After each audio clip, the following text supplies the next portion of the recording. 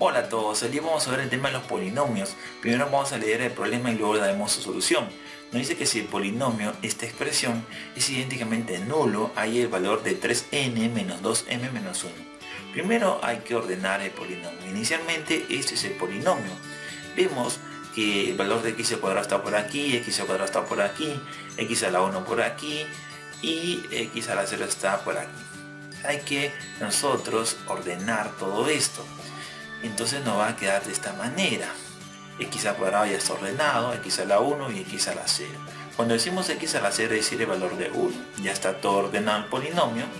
Ahora, nos dice el problema, si el polinomio es idénticamente nulo, se iguala todo a 0. Quiere decir que donde, veamos el valor de x vamos a ponerle o reemplazarle el valor de 0. Y toda la expresión se iguala a 0. Quiere decir que estas tres expresiones vamos también a igualarlas a 0 igualamos a 0, ahí lo tenemos, pero en estas tres expresiones ya tenemos el valor de m y n. Simplemente hay que igualar, reemplazar, sumar o restar.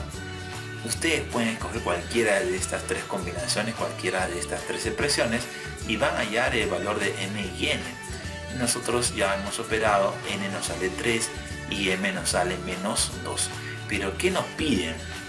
Nos piden 3n menos 2m 1. Reemplazamos el valor de m y n y eso nos va a salir 12. Por lo tanto, la respuesta será la letra B. Esperamos que les haya gustado este video. Esperamos sus comentarios, sus sugerencias. Les invitamos a que se suscriban a este canal para que puedan ver todos los videos que tenemos para ustedes. Gracias a todos.